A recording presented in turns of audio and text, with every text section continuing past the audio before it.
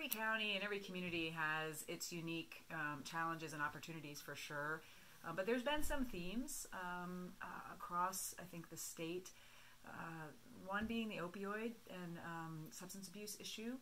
Uh, I heard again today uh, from leaders uh, here in Cottonwood that it's not just opioids. It's as we crack down on, on opioids and we're providing more opportunities for treatment for people, they're starting to see methamphetamine, methamphetamines popping up again.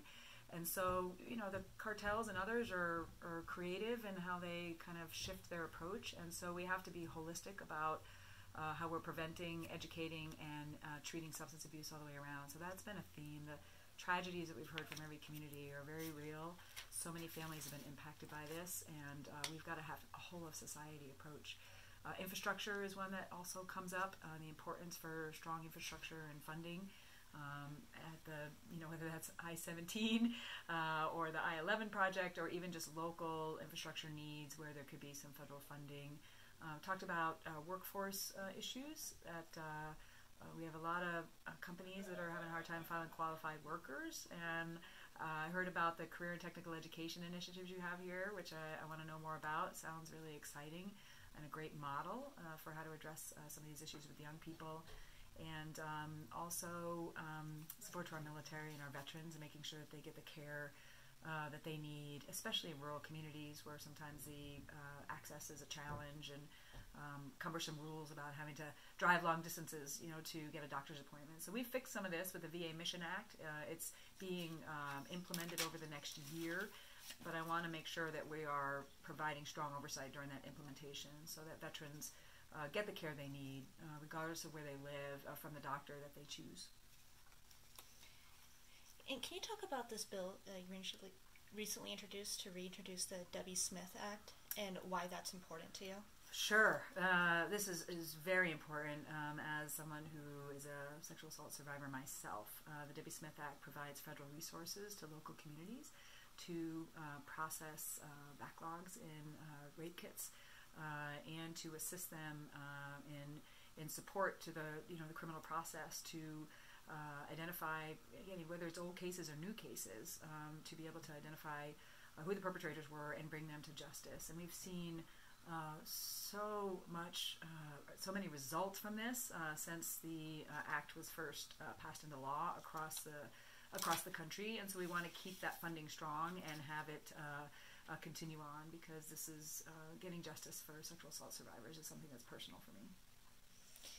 And oh, you've been very vocal about the Air Force really needing to take action, but would you say it's the military as a whole? Yes, absolutely. Like yeah. I was in the Air Force, yeah. so my experiences. Um, both as a survivor and as a commander were in the Air Force, but the entire military has a sexual assault problem.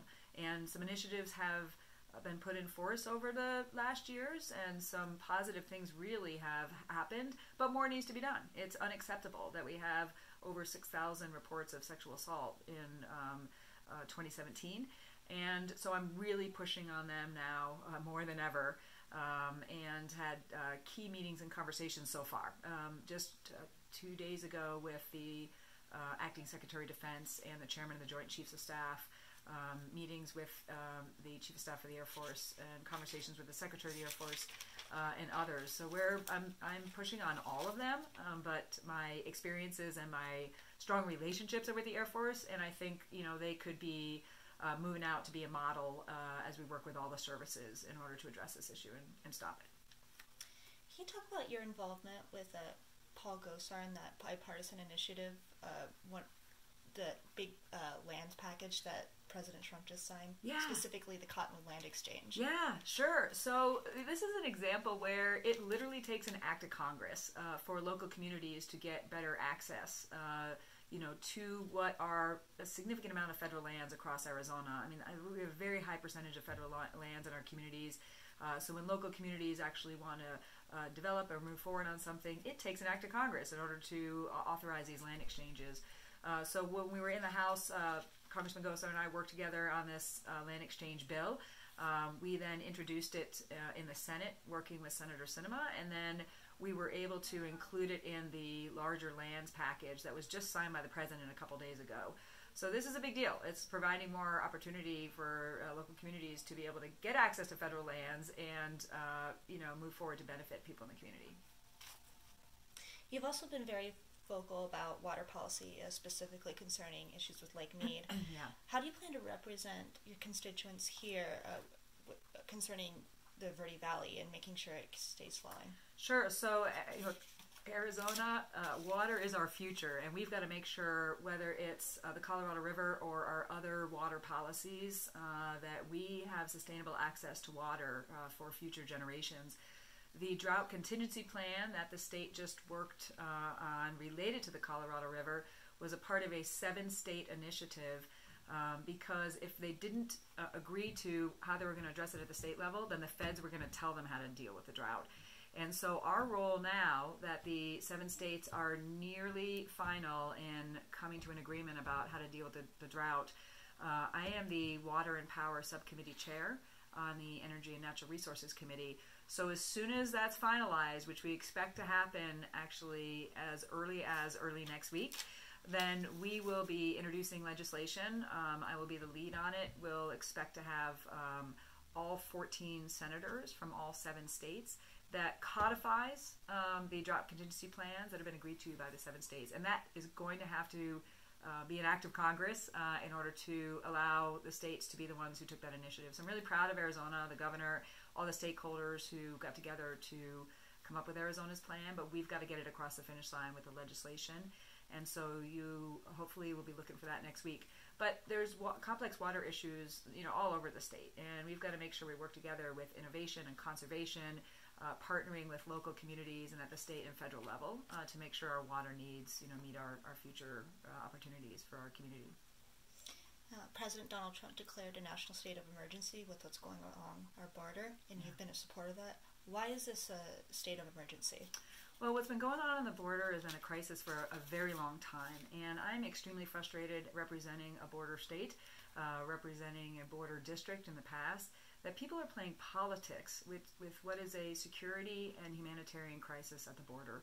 Uh, we now see the cartels are taking advantage of loopholes in our laws and trafficking uh, children um, in, in, a way that's been unprecedented uh, in uh, incentivizing um, you know women and children and others to be taking a long and dangerous journey uh, to come to our border. And we need the humanitarian assistance. We need the border security. We've got to stop the drugs from coming in. Over 70,000 people died from opioid overdose last year.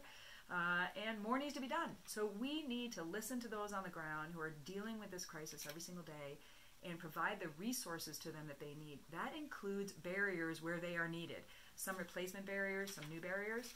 It also includes the right number of agents, uh, the detection equipment, other technology, and closing some of the loopholes in our law. Congress should have put legislation on the president's desk to fully fund what was needed.